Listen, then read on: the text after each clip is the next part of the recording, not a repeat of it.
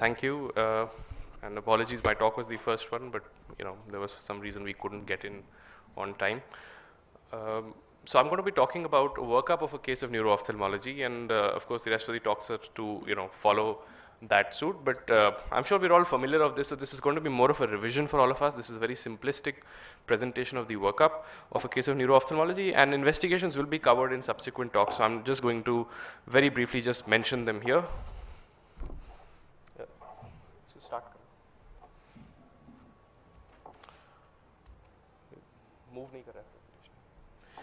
So the first thing in any case of neuro-ophthalmology that we have to do is the history. So the history taking is a very, very, very vital part of neuro-ophthalmology.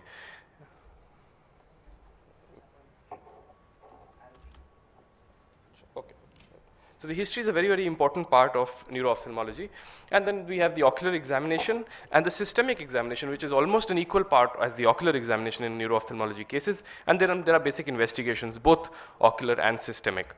In history, the commonest complaint that we get is vision loss. And the onset of vision loss or how the vision loss is happening actually presents, you know, gives us a clue of what's happening. So if it's happening with, uh, within a few seconds to a few minutes, you're looking essentially at a vascular cause. If it's happening a little bit longer than over a few hours, a couple of days, it's probably an inflammatory cause. And if it's happening over many months or years, then possibly the, uh, you know, the cause would vary and it would go on to either degenerative diseases or, uh, you know, things like a papilla edema or IIH. So other causes for, uh, or toxic neuropathies, this is over uh, many days and months of use. In the history, the very important thing, like we said, is the visual acuity. And sometimes if you don't get the visual acuity, uh, you can take a history of the visual acuity in the past by looking at the activities the patient could present or to could perform, the duration of from when that has happened, uh, what has been the episodes? Has it been sudden? Has, uh, has, it been chronic? Has it happened over time? Is it transient? Does it get better any time? What has been essentially the course of the illness? Uh, that's important. Associated systemic histories are very important. Associated history of headache, vomiting, uh, other systemic history, family history is very important, particularly for hereditary neuropathies, uh, you know, particularly, let's say, Leber's hereditary neuropathy or other autoimmune hereditary, uh, other uh, autosomal dominant hereditary neuropathies. That's very important. And treatment history is very important because you need to know what the patient has previously taken in the form of medications that may be causing a toxic neuropathy or even treatment for the current condition that the person has uh, previously taken and any previous investigations that are done. So this, to a fair extent, gives you a a good idea of what the provisional or possible diagnosis could be, and then we move on to the examination. Visual acuity, as we discussed, is probably one of the most important things in neuro-ophthalmic examination, and you need to understand the kind of loss of vision that's happening, uh, if at all it's happening. There are some conditions where you won't have a loss of vision, particularly in conditions which are affecting the pupil probably, but then you do need to look at the near visual acuity and always make that a habit. So compare the two uh, eyes, look at the near visual acuity, look at, ask for symptoms which are talking about the quality of vision along with just the quantity of vision. So whether they're getting an appearance of a fogginess, whether there's a fade out or there's a change in color perception. So the quality of vision is also very, very important in such cases.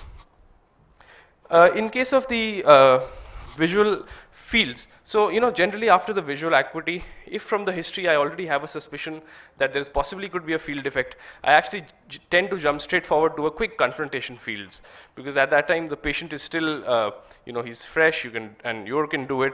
And it's very important because fields actually give us a clue for a lot of diseases, you know, particularly things associated with the pituitary, things which are ischemic neuropathies. In papilla edema, you get a constricted visual field.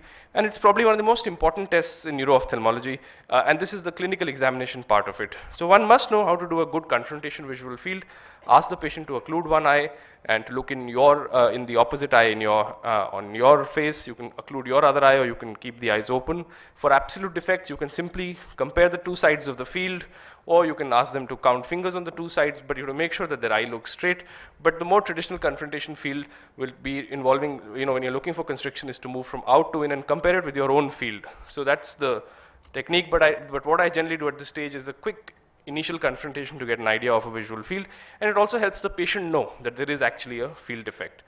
Pupils are very important. The size of the pupils, the reaction of the pupils, uh, reaction to near response is very important, and you need to assess whether, how, whether they can dilate properly or not. So you need to do it in a lit environment, in a bright light. You need to do it in a dark room, uh, and always test the RAPD. So the quick, uh, the pupillary pathway essentially starting from the retina, it's going on to the ganglion cells, it ends up finally th through the olivary nucleus to the Edinger-Westphal nucleus, and from where the efferent pathway comes. So any problem anywhere along this pathway is going to show up in, you know, on a pupillary examination. Pupillary size is very important. This is something which is very variable. So if you do it in a bright light, you'll get a different thing. If you do it on a slit lamp, you'll see a different size. In a mesopic condition, it'll be different. So it is variable, and there's always a change in size, alternating, which is called hippus. Usually a slight amount is there, but you can use either a simple ruler to get the size, and it's particularly, you know, we're looking at anisocoria more specifically when we are looking at the pupil size. Uh, of course, both could be, uh, you know, mid-dilated or both could be constricted, possibly. But in anisocoria, it's very important because that is pretty glaring if you look at just the size of the pupil. Pupil reactions need to be looked at with, for light and for near. And it's a, uh, it's very, very important. I think RAPD is one of the most important pupillary signs, or in fact, one of the most important signs in neuro-ophthalmology, and we had a discussion of this yesterday.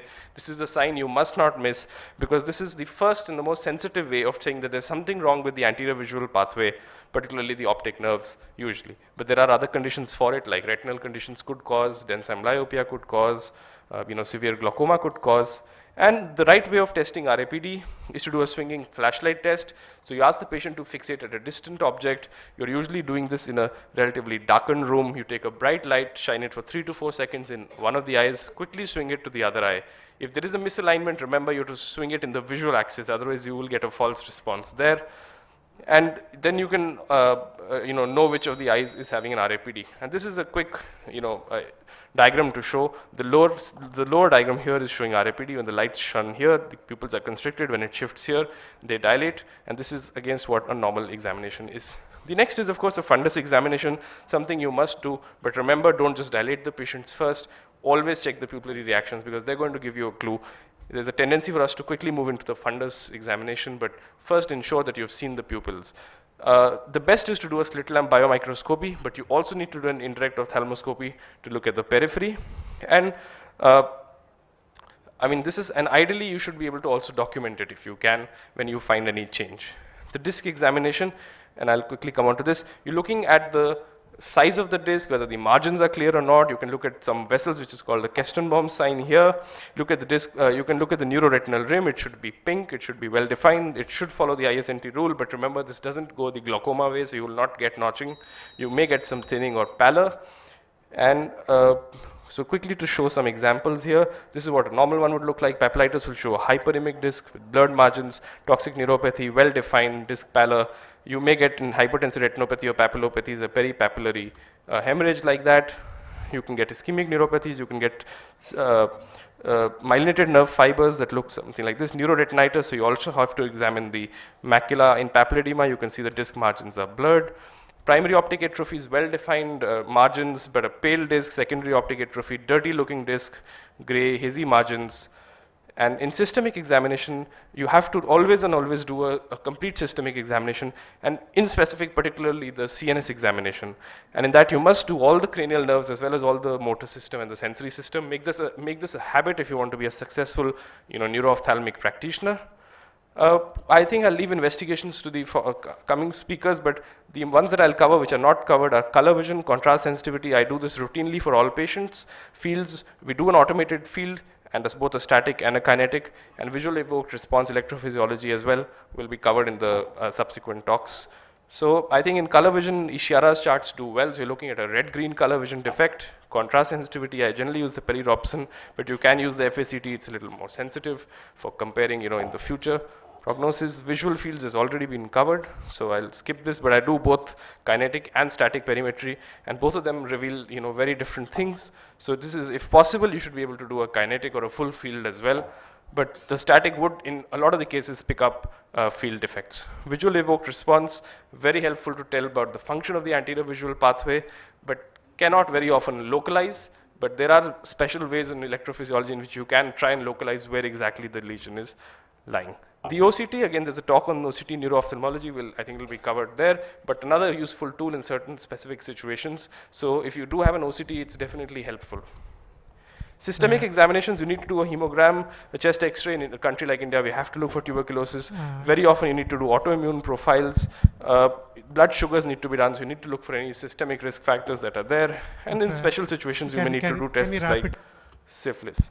And uh, there Can are lastly? Yeah, there's- lastly, there is some investigations that are uh, imaging or radiology investigations. Generally, between X-ray, CT, and MRI, there are different indications, so I won't get into that. But this is just to cover the complete list. Thank you.